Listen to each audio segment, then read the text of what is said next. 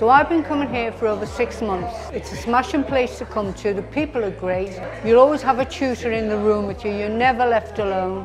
You're always guided through everything to make sure that you're doing the right things. And if you want to improve, you can improve. You can push yourself as much as you want, or the machines will work for you. It's stress-free.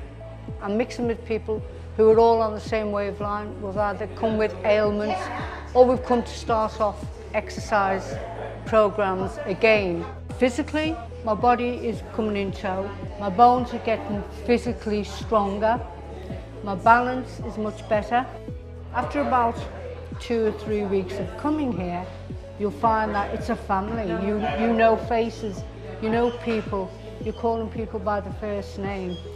It, it uplifts the, the mind, you know, your stresses go, you look forward to coming, and if you can't come, you would miss it. You know, you miss not coming. It's getting you out the house, it's marvellous.